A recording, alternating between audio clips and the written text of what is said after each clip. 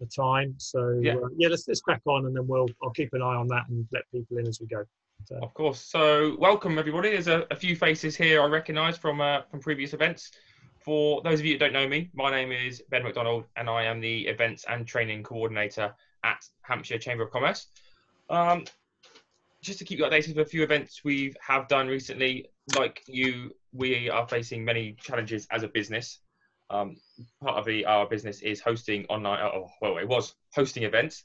Since the lockdown and the government regulations, we have moved into an online virtual event world, one of which is what you are joining us on today. We've also hosted a, a virtual pure networking event with more of them to follow.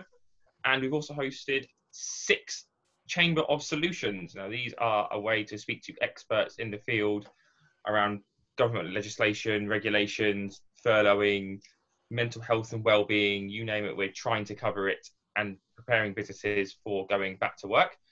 These are a weekly event on a Tuesday morning, which I'll be happy to share the link with you after this. Uh, Kevin may go more into himself shortly, so I don't want to take too much thunder away from him. Kevin has been a member of Hampshire Chamber for 14 years, as I've just found out, and I, I knew he was used to be on our board of directors. So he is heavily involved the chamber and does his best when possible. Just a few housekeeping rules. Um, Kevin has already turned off everyone's microphones and muted you all. As the presentation goes, Kevin's shortly going to share his screen. So as the presentation goes on, if you'd like to ask a question, just write it in the chat box, which I will keep, which I'll monitor throughout the presentation, and I will ask your direct uh, questions directly to Kevin. So thank you, and over to you, Kevin. Excellent, good. Thanks, Ben, and uh, welcome everybody uh, on this uh, sort of end, end of the week, and uh, great to have you all here. Um, just for those, I know there's a number of people that sort of know me. There's a few that probably haven't come across me. Um, so I've been uh, coaching businesses now for 14 years, literally. Uh, I think next week will be my the day I started 14 years ago. Um, I've been in businesses, well, working with businesses pretty much most of my life. My my parents both had businesses when I was uh, an early teenager. So 81, I think my dad started a, a sign company. Mum had a printing business. So so this is actually my fourth recession. So uh, the fourth one of these that I've been through. Uh, three have been externally generated. Uh, that everyone's gone through. One was fairly industry specific. So, you know, going through recessions, you, you tend to learn a lot. Uh, you tend to learn by mistakes, uh, which is, uh, you know, it's a painful, expensive way to learn. Um, and, you know, but then you learn through other people's mistakes, you know, their lessons, and you pick up what they've been through, which can, uh, can really help speed this forward. So what I wanted to, cover today was you know, a few of the lessons that I've learned along the way around the importance of planning. Um, you know, it's uh, it's one of those things that uh, people think about. You know, if I, if I ask you, you'd know the importance of it, but actually, do enough of us do it properly? And I wanted to come to a little bit from a different angle, a little bit about the psychology of it and why people say yes, you've got a plan, but deep down, do you know why you should plan? And when you do plan, how to do it effectively. So I'm going to find my presentation here. Um, sorry, push the wrong button. So we'll share my screen, which is here. So hopefully you can see that all good now. Um, I think Ben, if you're still there, if you can monitor the uh, uh, the waiting room just to make sure people uh, do come in, because I seem to have lost that from my screen at the moment. Um, so I'm going to use the context of, of bouncing back, you know, because you know planning is, you know, what, what I'm going to talk about here is the same planning for any situation. Okay, whatever we're doing, we need to think about these things. So, but we're going to use it in a context so we can actually put it into place and see how it actually works in this context of we've, we've come from you know a nice calm waters from pre-COVID uh, into in the last year through the ramp up, through the fall off the cliff, you know, the scrambling around trying to sort of sort ourselves out, through to a bit of a lull now. Certainly finding some of my clients are feeling a little bit uh, flat at the moment, the last couple of weeks. Uh, but then we're coming back into ramping up and then hopefully really working hard to get back to the, whatever the new normal is. So if we, if we look at this and sort of say, you know, why, why do I need to bother with a plan? Okay, why do I really need to do this? And it's probably been something that's been on uh, academics' minds for a number of years. And this was a study uh, going back of quite a few years now. Uh, I think it was Harvard Business School this came out of, and they wanted to see out of you know a selection of people, yeah, how many people actually write plans? And this is not necessarily businesses. This is you know people generally. And yeah, their little study showed that only three percent of people actually took the effort of actually setting their goals and writing plans. But when they looked at the study of that to see where the wealth was, they found that of those three people, 98% of the wealth actually was in their hands. Because what was happening was you know 70% had nothing. It just just were, were going through life day to day to day to day some 20% had actually committed to something. They, they could verbalize their their goals and could if you asked them they could tell you. But actually only a tiny percentage had actually taken the effort to write those plans down. And so the interesting thing is well why is that the case? You know is it just by doing the plans you know, writing it down that makes it happen, or is there something a little bit more uh, deeper that's going on underneath the surface? And if I looked at this from businesses, I mean, we've got 30 odd businesses on the call today and said to you, you know, how many of you have actually got a, a written plan, you know, for the next 90 days? You know, I wouldn't be surprised if it wasn't too far off those numbers as well. You know, uh, I'd expect probably about 10% of you will actually have something written down that 30% will have actually had something in their head, and a lot of people won't have anything at all. Maybe slightly higher because you guys are a little bit more proactive than, than most business owners because you are uh, an actual webinar about planning. So the main reason we find is, you know, if you're not going anywhere, you don't need a plan. You know, it's as simple as that. I, and, I, and I bring this analogy in, in sporting world that you know, if, if somebody came to me and said, Kevin, are you, you going to run a marathon, you know, next year? If I had any clue about running a marathon next year, I would not have a running plan. But if I say to, to somebody, I'm going to run a marathon in 12 months, you know, I'd be foolish to actually just start running. You know, right, I'm going to run a marathon next year. What should I do? Well, I'll just, I'll start running a marathon and I'll go off and I'll run yeah, it would be crazy. In, in any sport, would be crazy to actually start that without actually having a clear, yeah, even if it's a verbal plan, a clear idea in my head what I'm actually going to do. So what I find in, in when I talk to business owners and say, you know, do you have you know, some clear goals and a plan of where you actually, you know, what you're going to achieve? The ones that don't are generally the ones that don't have clarity on what they want to achieve where they're going to be in a year's time, five years' time, 10 years' time. And, you know, and, and to me, that that's worrying because, you know, without that, they're not going through the process, which we're going to come on to now, that's going to really help them understand what they need to do and how to get there. So the first thing within this is, you know, you've got to identify where you are yourself. You know, we're all a little bit reactive. You know, we've, we've built that way to, to deal with what's thrown at us. And if we, if we go back into the context of, you know, again, this, uh, this crisis is, you know, we're all plodding along quite nicely. You know, then the, the COVID uh, crisis hit. We all panic. We all run, a, run around. a lot of adrenaline going on, fixing things. Once they're fixed or we, we've sorted that out, we then need to go back to actually thinking right, where do I want to be in a month's time? Where do I want to be in three months' time? Where do I want to be in 12 months' time? Now, there's never any guarantees with this, but if you've actually set the plan out, you've got a better chance of success. So, in times of change, like, you know, say the COVID coming in, it, it, to me, it, it's times of change are good because what it can actually say to us is those habits the conditions we were in three months ago, six months ago, were we 100% happy with that? So if you look back to your life, your business, yeah, and if you'd say, right, that was the end result, okay, that was like an exam. That was the my I did my exams. That was my uh, my final part. Am I 100% happy with that? was that a good use of my time for the number of years I've been in business to say, right, at that point, could I put a big tick and say, yeah, I was really, really pleased with exactly where I got to? Or would you look back and go, yeah, I could have done better. I'm not quite in the position that I should have been.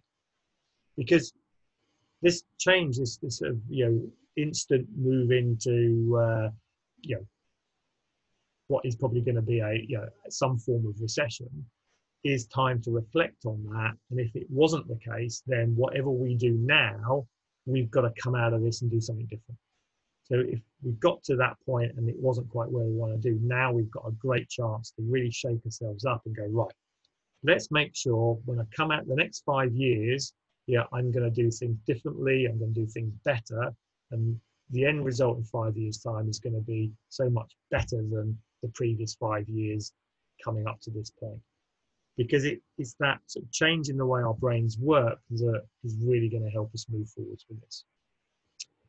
And that really brings us on to, you know, how does the brain work? And I've, I've studied this, this fascinated me for, for many years. I've done a lot of research into it. I'm not a PhD, uh, you know, I don't have a PhD in it. I'm not a, a, uh, you know, a brain surgeon. You know, I just picked this up from other people's work and, you know, using it to, to really try and get some idea of what's actually going on. and the way that the brain has developed, you imagine you know, we, we've been you know, millions of years in uh, evolution, um, and our brains have evolved as much as our bodies have evolved. You know, if you take going back from you know, reptilian through to mammalian through to human, you know, these physical functions that we have and how we look you know, has been replicated within our brains themselves. So our brains have gone through three phases of growth. The, f- the first phase really we share with all animals. Okay, this is our reptilian brain. So it's very small, it sits in the heart of our brain, and it basically is there to keep us alive. So it's our fight or flight. It's it's food. It's about if you go back to Maslow for those who've done psychology, you know, Maslow's hierarchy of needs. This is about safety and security. Okay, it's about just maintaining the species, do whatever it takes to stay alive. There's a very basic but very fast acting part of our brain. It's the part of the brain that gives off all the adrenaline, you know, and the endorphins that actually said, yes, you've done the right thing, continue to do that. The second phase of our brain is called the limbic system. So it sits outside the reptilian, and that we share with high level animals. It's our emotional brain, our limbic system. So this deals with our interaction with other people. It's, it says, if I do this, do I feel good? Okay, is this making me feel wanted, you know, and accepted? It's part of our, our ego sits in there as well. Okay, so that ability to sort of, you know, feel, yeah, I've really, really done a good thing at the moment. You know, my wants and my desires. And then on the outside, the bit that we have more than any other animal on the planet is our neocortex. You know, this is our thinking brain. So this is our brain that allows us to project into the future and, and think about where we want to be and reflect on the past and learn from our past mistakes. It's an amazingly powerful part of our brain, but it's actually quite slow. It's not a great, so there's a lot of neural connections that fire here, but it's not quick. Reptilian brain is very, very quick. Limbic system is quick, but the neocortex is quite slow. But it's that ability to project into the future so that we can actually visualize things and we can start to see where we want to be and go go back into the past. So you take a sportsman, you know, you see the, the rugby players and the golfers, you know, visualizing the shot. Okay, they're actually visualizing the shape of the shot, where they want the ball to go. Yeah. Then they commit to the shot, and then they allow the reptilian brain to actually then function and then do what it takes. For, for those that do play sport, if the neocortex tries to hit the ball, yeah, that's when it all goes wrong. So it's our ability to use that part of our brain in our thinking and then trust in our, our innate ability to actually then take what we've actually thought about and actually make it happen. And this is the real power of getting this brain to work as one. Okay, if we can get all those three systems, the neocortex, limbic, and reptilian, working in unison, then we'll get success. If any of them are not in unison, so we're thinking the wrong thoughts, we're feeling the wrong feelings and we're doing the wrong things, then we're going to be in trouble. So what this is all about is bringing those three things together through a process, which is the planning process. And there's one little extra within the reptilian brain that we forget, which is the amygdala. So the amygdala is basically our early warning system that says, are we in danger? Okay. So when things happen, so like this crisis, you know, things are happening around us that switch this amygdala on that says, right, am I in danger? Yes or no? If I am in danger, then what do I do? And the amygdala says, right, if I'm in danger, I'm going to chuck all the blood yeah, and energy I can into the reptilian brain because that's the part of the brain that's going to keep me alive. Okay, that will actually drive me forwards. And it'll take the blood away from the neocortex and the limbic system and drive it into reptilian. So if you go back to when you first heard about you know, the crisis and the business was you're going to have to shut the business or reduce the business in size, you know, that initial adrenaline reaction yeah, is basically driven by that amygdala that's saying, right, reptilian, I need to do stuff. I need to get stuff done. So you become very busy. You know, it's actually, you, you become quite productive, to be honest, to getting things done to actually move yourself forward. Once that adrenaline goes, yeah, then the amygdala goes, am I in danger anymore? No, I'm not. So it quietens down and then the limbic and neocortex have that chance to step in. And this is where you now start to get that feeling of, oh, how do I feel? Or oh, I feel a bit uncomfortable. I feel a bit unsure. The neocortex starts thinking, well, what should I be thinking about? The future, the past.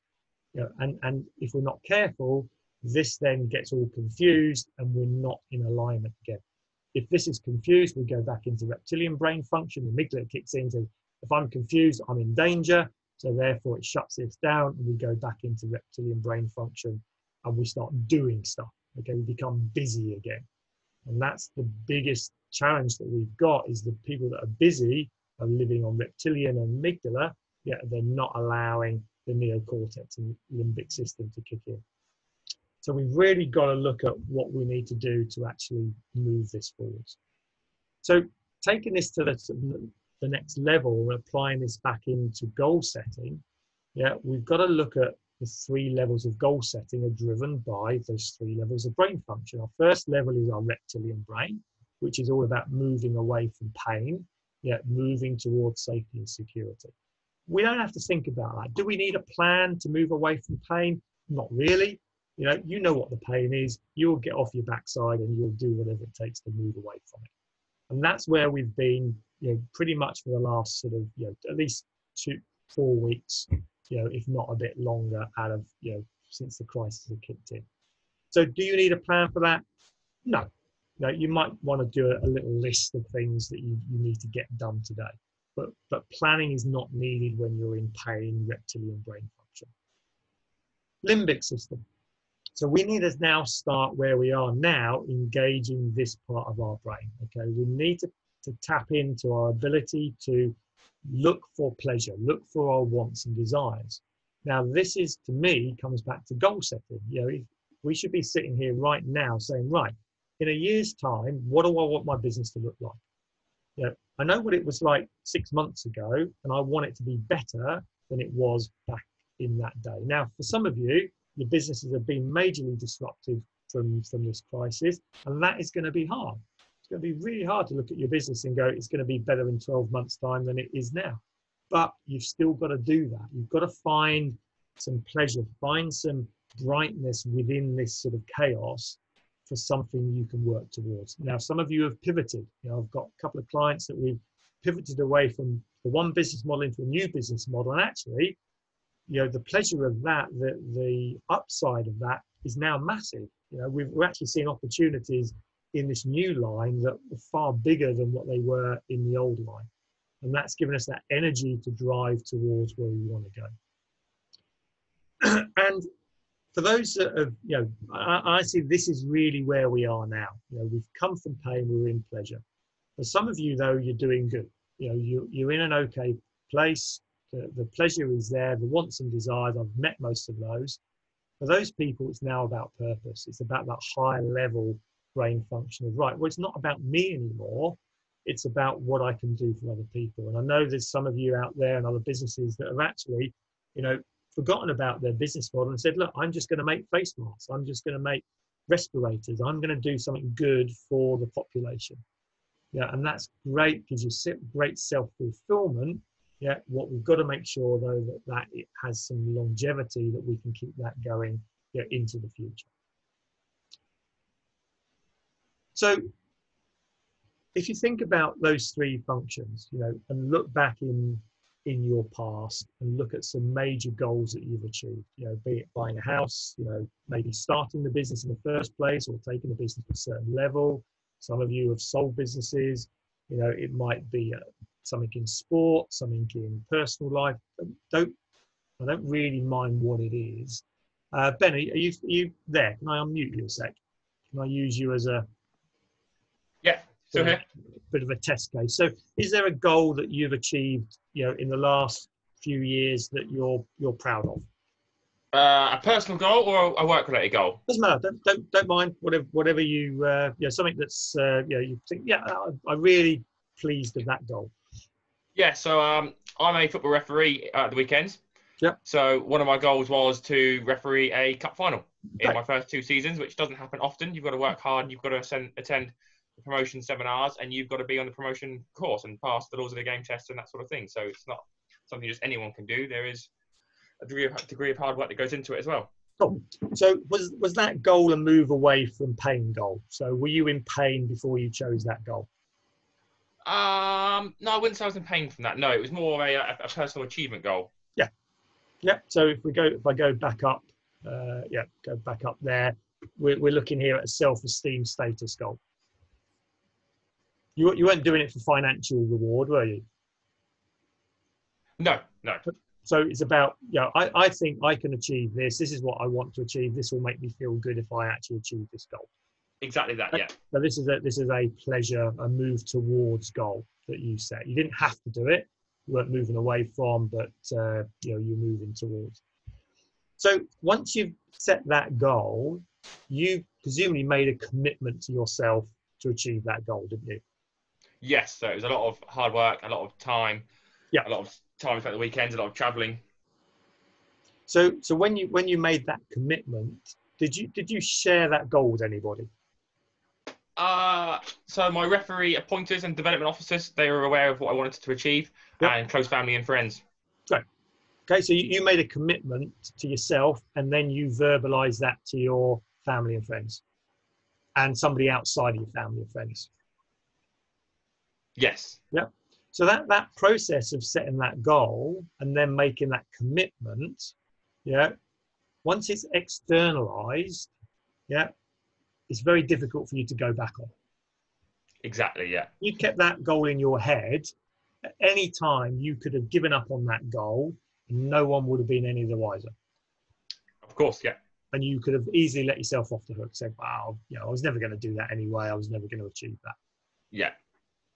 Now, at any point in your mind, did you think that you could fail at achieving that goal?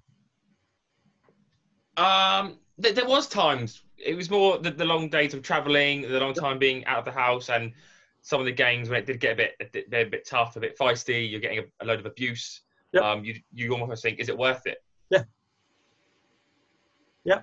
See, the reason that most people don't set goals is because of the fear of failure. Yeah if I set a goal to do this, then what if I fail? And that would have gone through your head at certain times in that yeah, did, yeah. process, wouldn't it? You would have you thought, oh well, you know, well, what if I do fail? But you know, that when you did fail, that should have then basically driven back into pain, yeah, and said, right, I ain't gonna fail. I've made this commitment.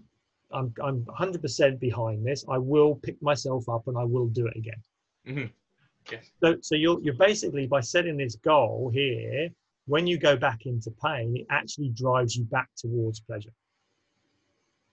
So we're now utilizing both parts of the brain here to actually achieve that. Now, the additional one for you is by actually being a great referee, are you helping other people as well?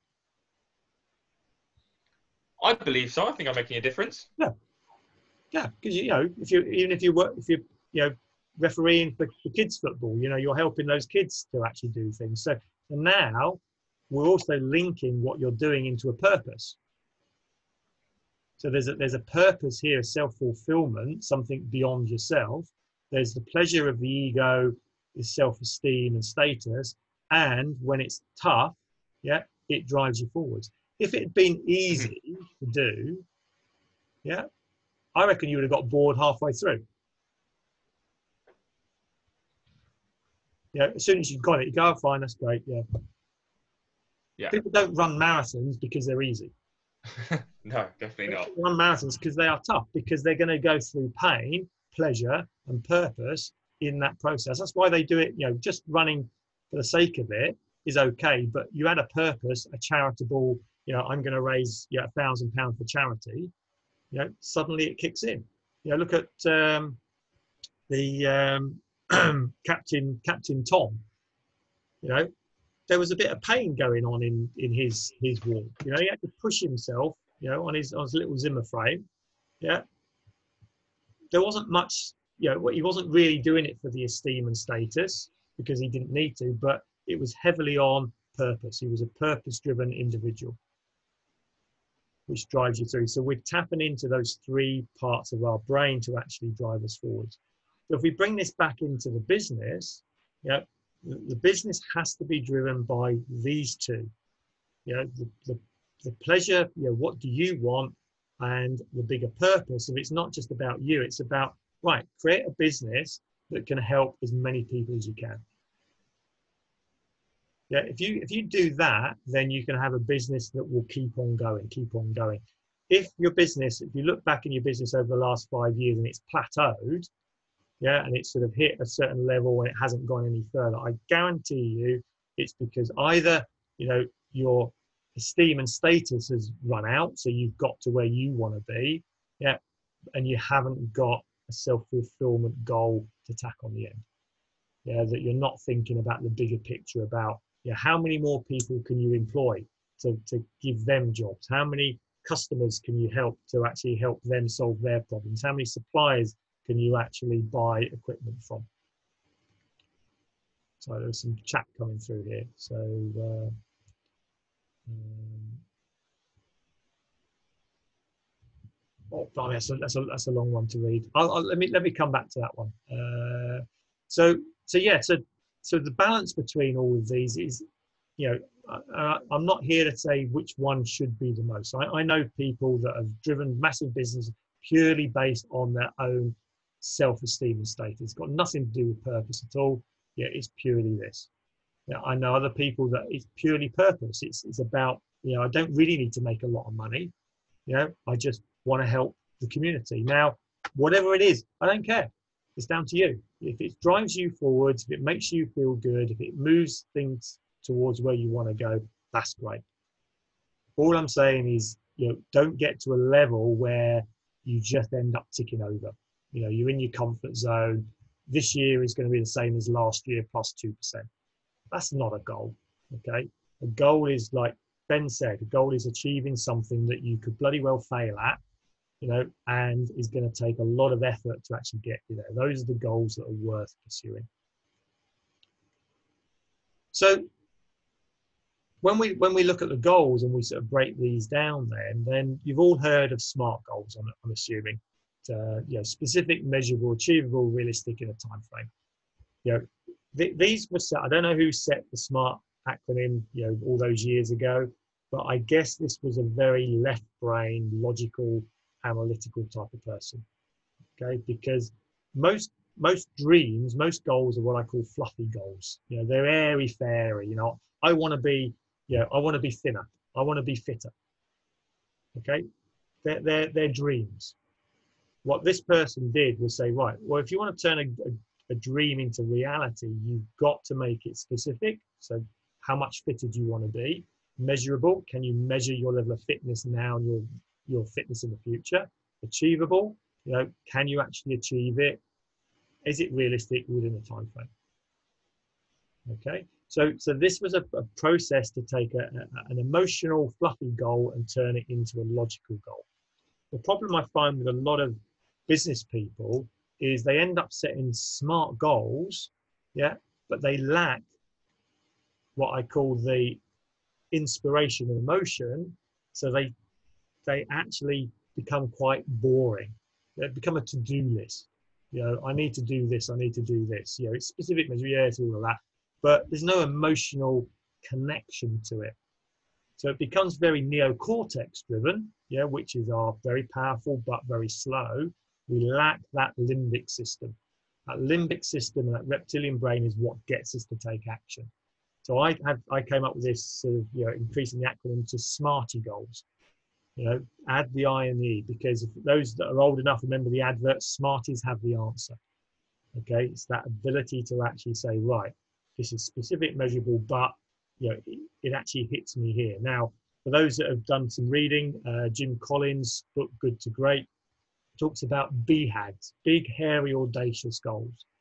So we should be sitting right now in our businesses setting BHAGs, big, hairy, audacious goals. Right, in 12 months' time, in five years' time, my business is going to be here. Yeah, I don't know how I'm going to do it, yeah, and I might fail. I might not get there. Okay, but whatever's going to be thrown at me, I've got this direction, I've got this in, emotional connection and a, and a clear purpose to where actually I want to be. And you know, it really comes down to this. You know, a, a dream, you know, that isn't written down, you know, just just stays a dream. But if you write it down, it becomes a goal. If you break that goal down, you can actually create the plan. If you plan back the plan with some action, you make it reality. Okay, this is where we need to be now with our businesses. It's almost like saying today's the first day of your business. This is a business startup. Yeah, if I gave you the keys, you, you didn't know about your business right now, and I gave you the keys to this business right now, you paid me a pound for it, what would you do with that business? Where would you take it? Forget what's happened in the past. You know, even if your business is half the size now of where it was 12 months ago, you're going to have to get over that. Okay. I, I was with a company you know, many years ago. We took it to 4 million turnover. I said about my four recessions 4 million turnover, 50 staff, brand new factory, flying. We, we, we was a, the dog's bollocks. You know, we was just, it was so cool to be in part of that business. Supply, the customer phones up one day, says, We're going through supply rationalization and you're one of the businesses we've rationalized. Yeah, you've got three months, we won't be buying from you in three months. 90% of our business went like that overnight. We went from 4 million to 250,000 pound turnover in three months, from 50 people to one person in three months, from a factory with all the kit to no factory working out the back up, the back unit. Okay, you have to get over that stuff. Okay, things happen, shit happens. Okay, you, you are gonna. The longer you're in business, the more you're gonna fail.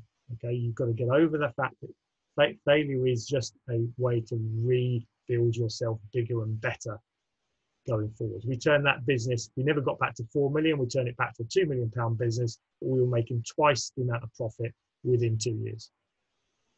Okay, if you've got that right mindset, then you can achieve this stuff. And that's really where you've got to be now. Reset the dreams, reset the goals. And then once you've set the goals, then the plan becomes, you know, needed. You know, you then have to have a plan. And the other thing that then stops people once they've got the goals from plans is their their vision of the plan, you know, is wrong. They, they don't know what a good business plan should look like. And in all my years, you know, i was a chartered accountant. I've, I've created more bloody plans than uh, you know, most people have had. Uh, I'll say hot dinners, but uh, but most people think of business plans as these business plans, okay? And I've done loads of these, helped clients with these in the last few weeks. You know, the CBILS uh, plans. The good thing is the bounce back plan. We didn't need a plan, um, but you know, the bank type business plan. Now, there's only one reason for a bank type business plan, and that is to get the loan. Okay, what goes in it? For a lot of you, if you have done them, you know, you're sitting there going, well, I don't know if that's going to happen or not. Doesn't matter. Okay. It's there to get you finance. So you're, you're showing the bank what they need to know, you know, to give, to, to ensure there's security and there's the ability to repay your debt. That's all they're interested in. They don't care what you do, really. You know, have you got the security? Are you able to pay to, to repay the, the funding? So most people think about that as being a spreadsheet with all the numbers and blurb of you know what the business does, etc. Great. Okay, if you need to do that to get funding, then you need to do that. But that is not, in my book, a business plan. Okay, you cannot take that plan and then action it. Go back. If I go back to here, yeah, a plan backed by action. The plan needs to be an actionable plan. Bank budgets, but bank business plans are not actionable documents. Once you've done it, you've got the money. I bet that document goes in the bottom drawer and you don't see it again. And you'll be very unlikely that the bank ever asks to see it as well, unless you're asking for, for lots and lots of money and then they do hold you accountable to it. The next type of business plan really takes that a little to another step. And this is where you're looking for funding from investors. Okay, so funding from investors. You know, if I'm looking to invest in your business, I want to see a far more detailed plan than the uh, the bank plan. I want to see competitor analysis. I want to see, you know, um, the ability for people to, to come into the market, disruptions, your SWOT analysis. Okay, because I need to understand your business yeah, from outside, from not knowing anything about your business in as quick a possible time, so I can I can get as much information to know whether I should invest. Okay. Now, this type of business plan is great for startups, yeah, and at some point you should do this, okay, because it really makes you reflect on your business. You know, I said to you before, if now today was the first day of your business and you were buying this business from me for a pound, yeah, would you invest that pound in it? You know, is your business going to be, you know, five times, ten times the size it is now in five years' time? Because guarantee these guys are not going to invest in you unless you can show that it's going to be that way. So maybe there's a little bit of this you need, you do need to do. You need to reflect on where's my business going to be. Would would I invest in it? Would somebody else invest in it? So you do the Porter's five forces, the SWOT analysis. You know, there's, there's lots of stuff you can see you know, if you want a copy of this type of business plan, I can send you a you know, 51 page. I've got you know a client going through this process now because it's there to get investors involved in it. Okay, but sometimes you've got to decide whether you're going to be the investor in your own business. You know, is it a good enough business for you to spend the next five years working at, or actually should you actually ditch this business and go and start another business? And for some of you, yeah, that is a decision you're going to have to make. You know, you know, is this the, is this the horse I want to back for the next five years? The business plan that I think everyone should have, you know, is a type of business plan that that I do with clients, you know, and it's as simple as you know a piece of paper or a whiteboard and some post-it notes. Okay, it can be you know I've, I've done business plans recently, just quick ones with a you know on a on a uh, a white screen, which Zoom is great for. We do four quadrants, yeah, and we look at those four key quadrants. And every business is basically four things: it's finance and admin, sales and marketing, operations, and people. Okay, that's that's all businesses are really when you boil them down. It's those four key things. How am I going to get new business? Yeah, how do I keep the financials, the financials? How do I get the operations working? And how do I build my team? we break that down as I show you in a minute into a little bit more sort of a bit more scientific and a, a, bit more detailed, but in essence, that's it. And basically, we need to brain dump, right? So, what are the key things I need to do in each of those areas in order to reach that goal that I've set myself? Okay, and we just use a piece of paper like this, we write it down, stick it on the board, and we go through the process because the key to planning is it's much the process of doing this than the actual end result. The beauty with this approach that we use is, you know, this is a, a you know, this sort of big piece of paper can actually stick on the wall and it will remind you on a daily basis, what have you done? Yeah, every time you do something, you take a post-it off it, yeah, and you have the, the satisfaction of scrunching up and chucking it in the bin. When you get a new idea, you go, great, new idea, write on a post-it, stick it on the board. Okay, this is not about business plans that go in the bottom drawer and never get seen again. So we've got to be thinking, you know, what are the areas am I actually going to focus on? What are the strategies that I'm actually going to use? And then if you go through this, you know, again, if, if I go back, we this is sort of designed, as you can see down the left-hand side here. We've got to break the business down into its component parts. Now, it's a bit like that. How do you eat an elephant? One piece at a time. So this is from Action Coach. This is why I joined Action Coach because when I saw this for the first time, it was like a you know, uh, a head slap moment. You know, here is a business broken down into its component parts, and if we get these pieces together, we can build any business. Don't I care what business it is. These component parts all make it up. Okay. If anybody wants a copy of this, please email me afterwards. Uh, or you know, if you've got Ben's details, then email me. My my email address is Kevin Stansfield at actioncoach.com. Okay, so it's just my name, actioncoach.com. Email me and I'll send you copies of whatever you want. The only thing I work can't send is the slides, but yeah, if you want these documents, I'll quite happily send you this. So I haven't got time to go through. We do this in in, in other webinars um, that, that, we've got. I've got uh, a video that will go through an hour that will take you through each of these steps and explain what it is. But each of these have been identified because they, you know, the mastery is the bedrock of the foundations. Niche is how we get growth through our five-way system. Leverage is systemizing the business and then building the team. Because at the end of the day, a business is just a group, a bunch of systems and a bunch of people. Okay, and, and the more people and the more systems you've got, the bigger a business you can actually build. Know, a business is not about you working harder.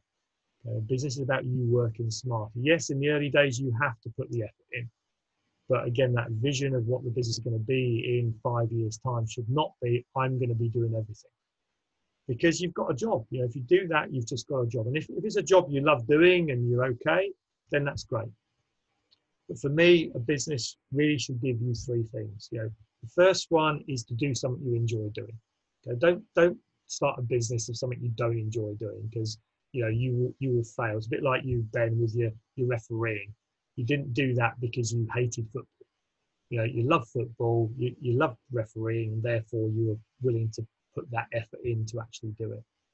Okay.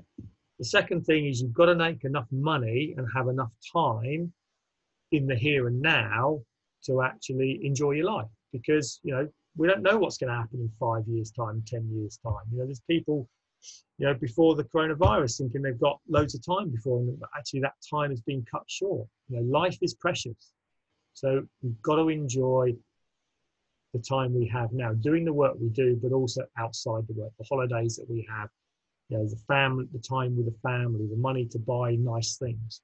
Okay, it's got to be right for you for those goals. And the one that most people forget is the longer term picture is having a business should allow you to be financially free quicker and easier than if you were working for somebody else.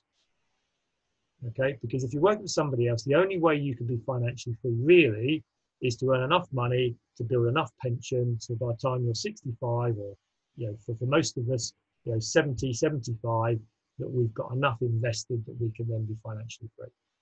When you own a business you own an asset and the idea is to grow that asset so that asset can either be your pension pot or you can sell it to be your pension pot. Okay, so it's really key to have that sort of focus on what we need to do to actually grow this business. And this is this is the six steps to actually achieve that. And then once we've got all of that, the key is we've got to learn how to schedule our priorities. Okay, it's no good just having a to-do list and then working through that. We've got to plan this out into our day by day, week by week diary. Okay, and this is a little tip. This is a format I've used for many years. It's just again nice and simple. It's just in an Excel spreadsheet. There are far fancier programs now that can do all of this. I just like to keep things simple. Okay, so again, I'm not going to go through the detail of this. You know, if you want a copy of it, I do other workshops that explain this in more detail. But it's really be clear. You know, what is the goal we're trying to achieve? How are we going to measure our route to that goal? What are the strategies that we've picked up from that previous stage? You know, what's the activity? Who's going to do it? When's it get done by? Who does what by when? Now, again, the purpose of this is not necessary to have this document. Okay, the purpose of this is to, to go through that process in your mind to engage each part of those brains. The neocortex is doing the thinking and the planning, Yeah, it's setting the goals and the sort of yeah, I want to achieve that, which ignites the limbic system that sort of want move towards pleasure, and it engages the reptilian brain into the actions that says right now just go and do this. But what happens with most people when they don't plan it in this way and time scale it is they start off really fast and really they go for it and then they burn out. Okay, after know, a week, two weeks, three weeks, they do loads of stuff, you know, and then they go, oh, they have a crash because that reptilian brain runs on adrenaline. Adrenaline cannot, you cannot live on adrenaline long term without doing your body harm. So the adrenaline goes, as soon as the adrenaline goes, then inaction happens. So we have a peak of activity, it drops off a cliff, and then we have a prolonged period of inactivity. We forget about the plan, we start making excuses, blaming other people, blaming customers, blaming the team, blaming the weather, blaming the government. Yeah, and then we go back to doing what we've always done and we go nowhere. So by doing this, we're actually setting ourselves a pace. You know, if I, again go back to if I was to run a marathon, I wouldn't start running a marathon from day one. I would say, right, my first goal is to run to the end of the road. Yeah, next week I'll run a bit further. Next week I'll run a bit further. So we want to get that pace in. So we go through that process of thinking, how am I actually going to achieve this? And the one thing that writing it down does then allow us to do is actually check in with ourselves on a regular basis. You know, have we actually achieved what we said we were going to achieve? So are we actually where we want to be?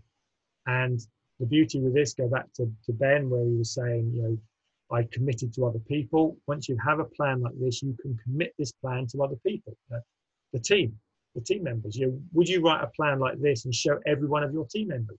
For a lot of you, the answer is no. Because as soon as you do that, they're going to expect you to achieve this. Okay, and if you're letting them down, you're actually letting yourself down as well. And this is where a coach comes in because you know, a coach will actually have this plan, be checking up with you. Have you done what you said you're going to do? Celebrating you when you do, picking you up when you don't, and helping you over the challenges that block you in, in your path. Okay, so very much about getting things done that way.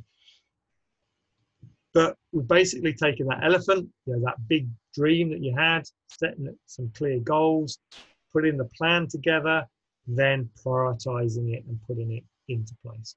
And the final stage of that is then put it into your diary. Okay, so your your your calendar, if you use Google Calendar or anything similar, you know, there should be time in that calendar to work on your business, yeah, which is this stuff. The reactive stuff, working in it, yeah, you'll still have to do. Know, depends what size business you are, how big the team is, but most of you are going to still be reactive to some extent. But the more you work on it, the more you work on the plan, yeah, and know that right this Friday afternoon, I've got to work on my business. Right on here, this says I should be doing this. Right, let's do that.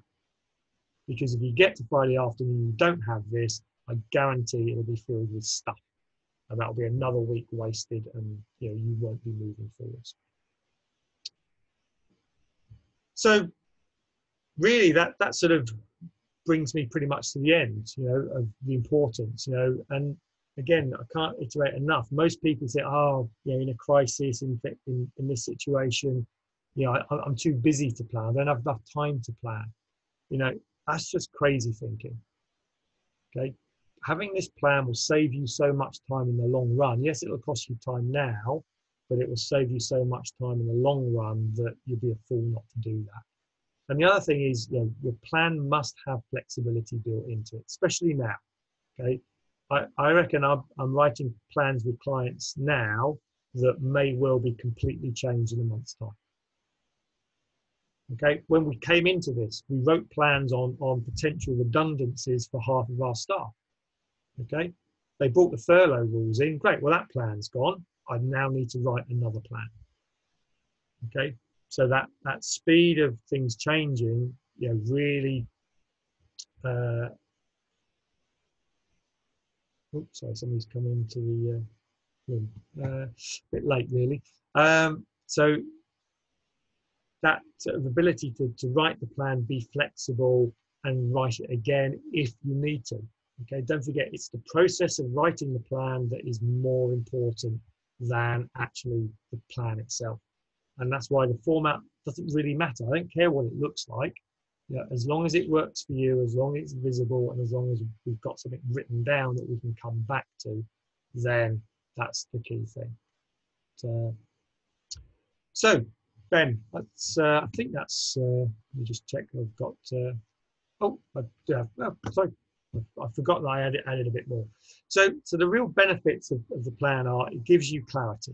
Okay, it gives you real clarity around what you're trying to achieve and how you're going to do that.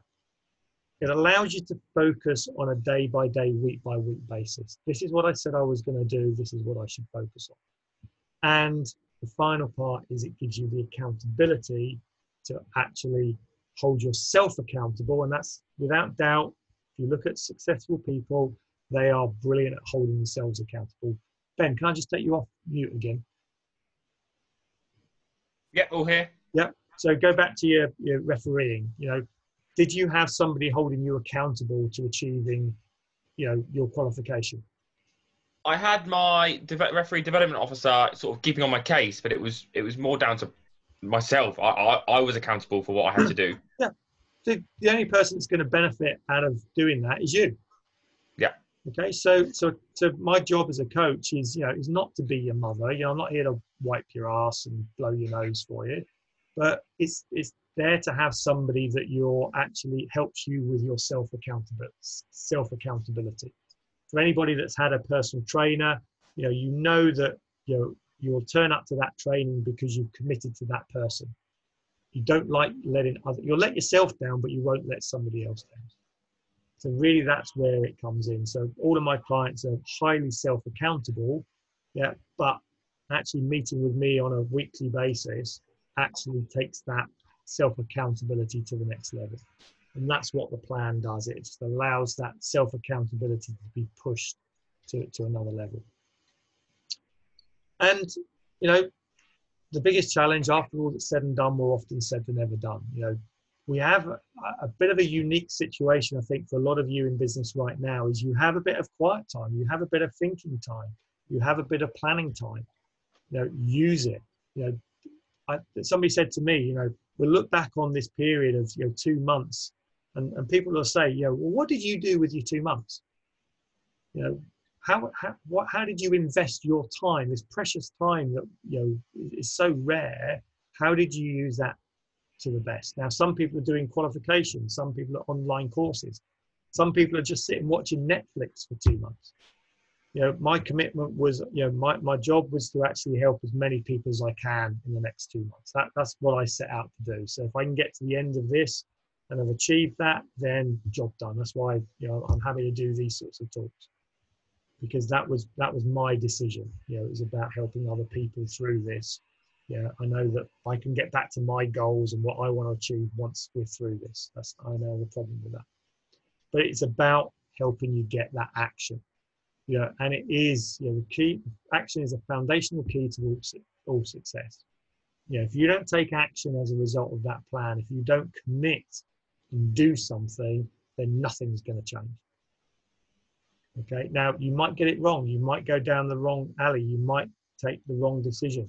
It really doesn't matter. Okay, by making those decisions, by making that commitment to do it, that's what's needed because it's about, I think the key now coming, it's certainly coming out of this into June, is about momentum. You've got to create momentum as quick as you can for yourself and for your team. Okay, you've really got to push that forwards um, to, to get that momentum to get you through this. And will there be more challenges in the way? 100%. Okay, this is this is we've got another at least another nine months. Don't forget, at the end of this year we've got Brexit, guys.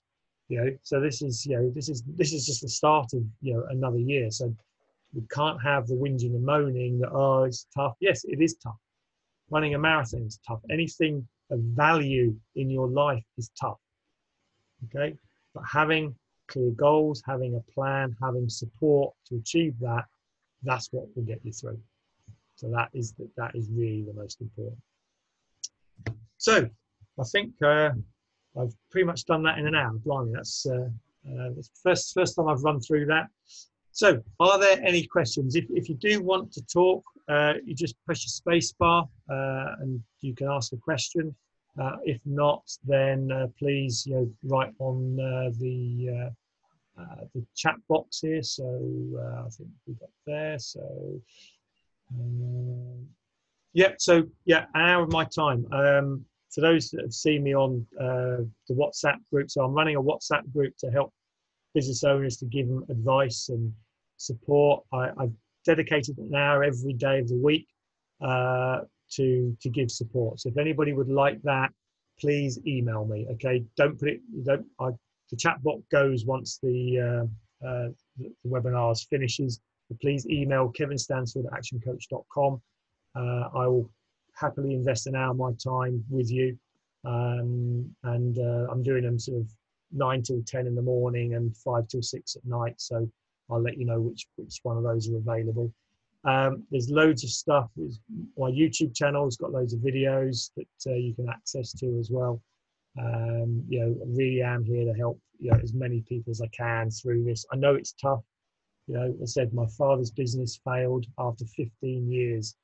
Um, you know, because he couldn't adapt and change through the 92 recession. You know, that impacted our family massively. He never worked again after that. Um, I don't want anyone to get feel that they have to go through this on their own. It's, it's so important to, to seek out and so so thankful for the chamber, you know, the work they're doing as well. You know, they are a great support line to to actually help. So uh, uh, and yeah, you know, if you if you haven't got your CBILS loan or your bounce back loan, you know, talk to somebody about it. Okay, I think it's it's you know the furlough and the and the bounce back loan are the best lifelines that you can ever have. You can whinge your moan about anything else, but those two things are going to save more businesses. But there is no point in getting that bounce back loan if you don't have a plan of what to do with it. Okay, because the worry and stress of that money having to be repaid in 12 months is probably going to kill you. Yeah, more than actually anything the coronavirus is going to do. Because you suddenly have a debt you know that you've got to repay and you've got to have a clarity. And, and please don't just take it and fill the gap you know. Do not take that money and not have a plan. You know, it's it's highly that's the only downside to it is they've given so much money away at least when you apply for a bank loan there's a there's a check and balance process to make sure are you really clear what you want yeah, with a bounce back, you just tick a few boxes and the money's in your account. And while that's fantastic, it's also there's going to be a lot of businesses that are just not prepared for it. And in 12 months' time, they've just kicked the can down the road. 12 months' time, they are going to be in serious problems. So don't be one of those. Be one that takes the money and says, right, there's my plan. That's where I'm going to go, and then commit to actually doing it. So, cool. Any any any final questions? Um, so, uh, how long will the government loans be around for? well, uh, how, how long is the government going to be around for? You know, uh, the way it's giving out money. Uh, to be honest, it's there. Take it. You know, I took mine the day it came out. Okay. You know, yes, at the moment it's sitting in a deposit account earning no interest. Uh, in the short term, you know, and please don't quote me on this, uh, but uh, I'm probably going to take a little bit out and stick it in premium bonds uh, for a couple of months. Okay, and you know, if I if I if Ernie says I win a million pounds, then fantastic. But you know, I'd rather have the money there and then decide what I want to do with it than not have the money and then in three months' time go, actually, I need it, and find they've actually you know, scrapped the scheme. You know, it could go as quickly as it came. So, you know, if you've got a chance, take it then write the plan. Don't write, don't necessarily wait for the plan and then then do it. So, so but a good good question. Uh, and the other thing with the furlough, you know, that has been extended till July. Okay, then it's going to start reducing. You've got to get your furlough, your back to work plan in now if you haven't done it already. Okay, it's no good waiting till the end result because then you're back to reactive, you're back to reptilian brain function, and there's a good chance you'll get it you'll get it wrong. So cool. Anything else, Ben? So, no, I think I've just turned my camera on. I don't know if everyone can see me, but uh, you're back. You're back in the room. Perfect. Um, I just want to say thank you to you for sharing your, your presentation and your information with everyone. Um, I will send an email out shortly, just CCing you in so everyone has your email address if they want to contact you further. Yeah, that'd be great. And, um, they can contact you directly if that works. Um, You said you could could share the slides, or you sh- just some slides, the whole I presentation. don't, I don't tend to share slides, mainly No, because you've seen from my slides, there's not much on it. If there is a particular slide that somebody wants, then I will happily sort of send that one. Certainly one of the, the early ones on goal setting. Uh, and the, but the 90 day plan, I, if somebody wants the 90 day plan or the, uh, uh, the wall chart, I can send you that. Um, Perfect. can do that. So if anything, if anyone wants a slide, then just email you directly, I suppose. yeah, please just just email me. Uh, website, um, you know, you can find find me on LinkedIn. Please, you know, anyone on here, link into me. Uh, I, I try and get LinkedIn is my main communication channel, uh, so I, I post a lot of hopefully good stuff on there for people to access. And um, you know, it's uh, yeah, just I'm just here to help in any way I can. So Perfect. So, well, thank you very much, Kevin. That, that's a little over an hour, only just. So I, I don't think we can we can moan too much at that. Kevin, I suppose we should end the meeting there. I suppose. Does that work for you? yes, yes. All happy if there's no further. No, no that's great. And I'll, what I'll, what I'll do, I've, I've recorded this, so uh, if any of you want other people think they should see it, um, I'll be posting this up on LinkedIn uh, probably over the weekend. And uh, please grab a copy of it from when it's up there. So the more people that can be aware of this, for me, the better. Perfect. Thank you very much, Kevin. If you just want to hang on the line, Kevin, we'll just have a, quick chat afterwards, and I'd welcome everyone else to uh, carry on your Fridays. Have a super then- weekend, everybody. Enjoy, Enjoy the bank bank holiday holiday, weekend. and uh, yeah, good luck with your plans and uh, and your bouncing back. So uh, nice to see you all. Cheers, guys. See ya.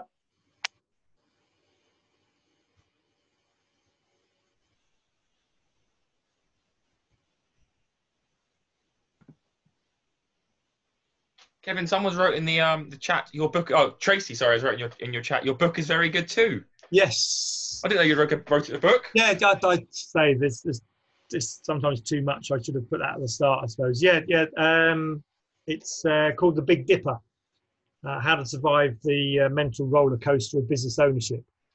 And it's, um, it's very, very relevant to today. So, uh, because obviously everyone's going through you know, a big dip at the moment. Yeah, of course. We've got to come out the other side. Um, so uh, yeah, so if you like reading, then uh, yeah, I'll, uh, I'll I'll I'll send you the uh, send you the link. Um, Yeah, perfect. Amazon, but uh, we've got we've got a stash, stash of copies here that I can send to you. Oh, thank you very much.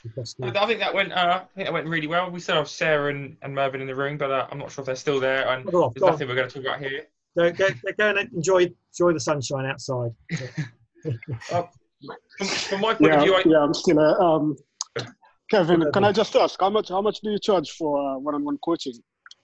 Uh, Mervyn, I, I've got uh, programs to suit all, all all shapes and sizes. So, you know, as I said to, to Ben, from from ten pounds for a copy of my book up Yeah. to hundreds of thousands. So, best thing, Merv, you know, uh, send me an email and we'll we'll book a chat, and then I'll, I'll talk you through what I've got. It's it's really about getting it right for you. Yeah. And you know, all of my programs, I guarantee return on investment. So I Right. wouldn't put you on a program that wasn't going to make you money in the next 12 months. Uh, but I need to know who, what you're doing Okay. and what you're trying to achieve to, to know what's best for you. So, but yeah, I'm not I'm not cheap, Merv. I'll, I'll, give you that. Yes. But yeah, because I guarantee. All right. But as, I- as I say to people, you know, if, if I was selling you if I was selling you parachutes, do you want the cheap one or the expensive one? All right. I'm just gonna send you an email now. Then. Bill, excellent. Thank you. Thanks for coming on, Yeah, Take care. Bye. Sarah, did, did you do you did you have a question to ask, or you have you just gone off to make a cup of tea? just before you're about to ask me a question, I was just thinking I need to uh, refill my drink, and then I was just sitting there, I'm gonna get that in a second, and unfortunately I didn't go at the uh, the wrong time. that would have been awfully embarrassing if you'd uh, called me in. I was where's, he, where was, where's the host gone? He's, he's got Yeah. bored within five minutes of the call. So, just making a cup of tea and sat, sat watching Netflix. But I, I think that went really well. I, I, the presentation went smoothly. Great. Um, a little bit of engagement. So I think that's all we Yeah. can ask for. Uh, it's, it's always you know it's difficult because you know engagement on these things. I'd say thanks for you know able to pick on you because it's always good to you know even, if it's non-business related, it still makes it more real and more relevant. Well, that's why I asked if it was personal business because I thought if you had just gone business, then that I suppose you do that every day. But if you go for personal, I thought, well, what have I achieved recently, or what was I working towards? And well, it's not probably not often you speak to someone who is going to throw a football refereeing challenge at you. So uh, I'd say the, the more the more diverse the better because it's what I want to prove is the concept. Yes, and exactly that. doesn't matter what the con- where it's business or football or whatever it is once you un- under, understand how our brains work and how they all piece things together then you can apply it to whatever situation I think it was, uh, whatever goal you set now in your in your personal life you now know right I- i need a dream i need a goal i need a plan i need to act Yeah. if you No, do I think it went really then- well.